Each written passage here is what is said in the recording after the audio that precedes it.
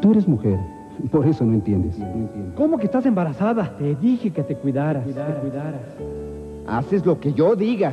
Para eso eres mi vieja. Vamos a contratar un hombre. Las mujeres se embarazan.